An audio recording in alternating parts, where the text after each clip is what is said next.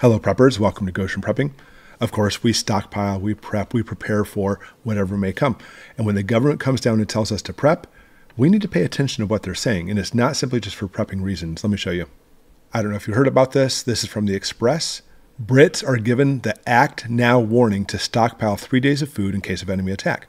Oliver Dowden has to warn that attacks from UK's enemies could trigger where Brits need to stay indoors for a period of days. And I think most people probably have food set for three days. Even college students have like ramen and stuff sitting around three days. And it may not be on the lap of luxury, but most people have three days anyways. But it's it's interesting. Why would they always tell us to prep three days? In fact, if you go to like ready.gov or the CDC or one of our beautiful agencies in America to tell us to prep, they always say three days. It's always people usually have three days of food, even if it's just cans of corn. A can of corn will get you by for the day if you need be. So, what is going on here? Why are they making such a big stink now in Britain? Is it because of Russia? And that certainly seems to be what they're saying here. It seems to be. From today, British families are urged to stockpile three days worth of food and water to build national resilience amid, yeah, here it is, threats from China, Russia, Iran, and North Korea. Interesting. Now, they call on the people to plan being without access to key services in the wake of prolonged power cuts, cyber attacks, and flooding. And again, their verbiage seems innocent. It seems to be like, hey, you know what, guys, we want you to prep. We don't want you to prep long term, no, a week or a month, a year. You're nuts. You're crazy. But when we talk about three days, yes, do this in case there's some kind of cyber attacks. Is the government looking out looking for the Brits? Same thing in America. Are the American government looking out for Americans? I mean, real quick, just for a moment, let's talk about what they want you to prep. Then I want to show you what's really going on behind the scenes. So, full list of items Brits are urged to stockpile in case of a national emergency. What do they ask? Emergency contact numbers. Yep. Paper copy in case mobile systems are down. A battery operated torch and spare batteries. I love that for a flashlight, a torch.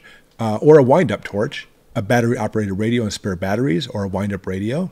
Essential medications, a first aid kit. And this is an important one to look at three days supply of bottled water and ready to eat food that won't go off or spoil. Important documents, insurance policies, birth certificates. Keep them in a waterproof bag pen, paper, pen knife, whistle, spare keys to your home, your car, spare glasses or contact lenses, and don't forget your babies and your fur babies. They need their supplies too. Okay, it's all well and good. Thank you, British government, and again, also American government for saying that we should stockpile for at least three days. I really think that three days is really short sighted as far as what we need to prepare for. So, what's going on here? Why are they putting this out? Because I want you to understand there's a reason for this, the reason isn't as much to make sure you have your baby supplies and extra sets of keys. No, let's go back to the original article. I want to point out something to you. First off, they insist that this call to action is not an attempt to engender a survivalist culture in Britain. Oh no, we don't want people to survive. And that he is not trying to be an alarmist and was merely presenting common sense advice. And I agree with that. But let's go all the way back up to the title of this article Brits given act now warning to stockpile three days of food. Okay, that's the easy part. In case of enemy attack you could easily see the same headlines in America. So, what enemy attack are we talking about here? Again, they even named off like Iran, North Korea, Russia, etc., China. I'm not saying that couldn't happen. It very well could, especially when you talk about like even cyber attacks. But I want you to see it differently. I want you to understand what's happening here. First off, they don't want you to be a survivalist. They don't want you to stockpile for a long period of time. Just, just three days is fine. And Britain is suffering one of the same problems we have here in America, and that problem would be the incredible brash of illegal immigrants coming in the country. I don't even like the word illegal immigrant. So, like, you find some Mexican family wants to come in and they're not here legally. That's illegal immigrants. They want to immigrant. Immigration is going into the culture and becoming an American eventually. That's their goal. When we see these people pouring into our country and Britain too, that's not their goal. They're not immigrants, they are nationals. Nationals. And I constantly get emails from followers of the channel who say, look at this news and this news and this news.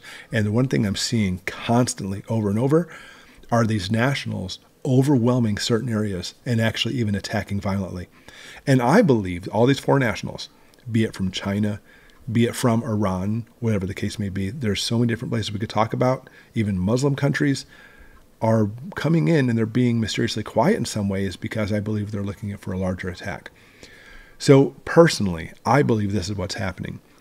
It's less about having three days of food in case there's an attack by Russia for a cyber attack, and more three days of food for sheltering in place, because that's one of the things they put on there too, by the way. If we have an attack, a cyber attack from Russia, for example, pick any country, cyber attack us, why would they even really stress sheltering in place for three days? in case you're told to stay indoors for three days. That's that's that's the article. Look at it. It could trigger where Brits need to stay indoors for a period of days. Stay indoors. That's right in the main part of the article. Stay indoors. And I believe what they're seeing is there's going to be a concerted attack. They're going to come together and make some kind of attack within the country.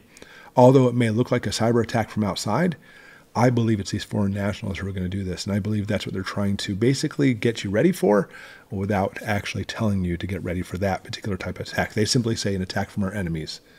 And look, here's a picture, ironically, of some Russian people. So here's the thing. Of course, we should stockpile for three days. If you stockpile for three days, you're, dis- you're doing yourself a disservice. Three days? Are you kidding me? That's a pack of saltines you have in your closet, in your pantry. You should instead be preparing for a week. You already have a week? Great. Now go for a month. You already have a month? Good. Go for six months. Go for a year. Have everything ready, including, by the way, the, probably the biggest thing we need to worry about in this particular article is not just food, but ways to protect yourself. Because if they're going to be having some kind of attack, cyber attack, sure, your power goes out, but it's the people, it's literally agents, national agents, and such in your country that you're going to have to worry about and prepare for. So make sure you can protect yourself more than anything else with self defense. So scary days are coming, especially with this year. I really believe before this year is up, we're going to be seeing some serious crap coming down the fan. So we have to be ready for this. Thanks for watching, everybody, and we'll see you tomorrow.